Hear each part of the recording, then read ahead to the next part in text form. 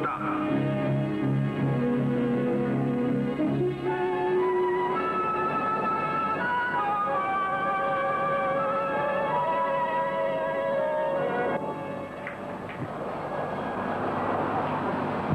Du bist jetzt auf 53.000, Josh. Teď jsi na 53 tisících, Georgie.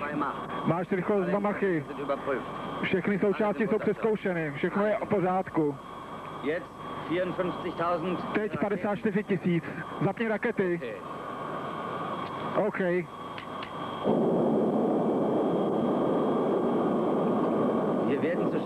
Jsme moc rychlí, Sekunden. Máme ještě 4 sekundy.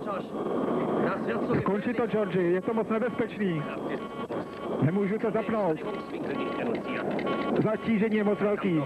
Ist... Zatracení body. Co by se stalo včera s Kody? Mám nápad.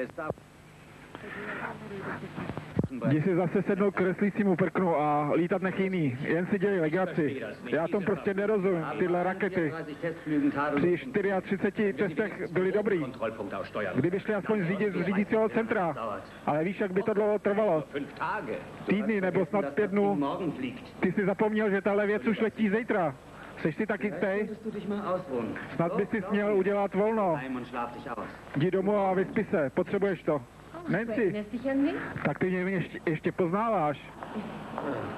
Ich sagte nicht, im Jetzt nicht hole, kommt nicht. Věděla jsem, že když si pro tebe nedojdu, tak domů nepřijdeš. Právě chtěl jít domů. Vidíš to, jsi očekávaný. Dobrou noc, Georgi. S těma raketama není něco v pořádku.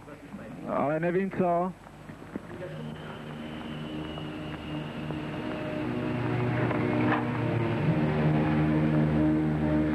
Guten Abend, Sir. Dobrý večer, pane. Co se děje? Chtěl jsem vám jenom říct, že George. Gill dělá ještě potíže kvůli raketám.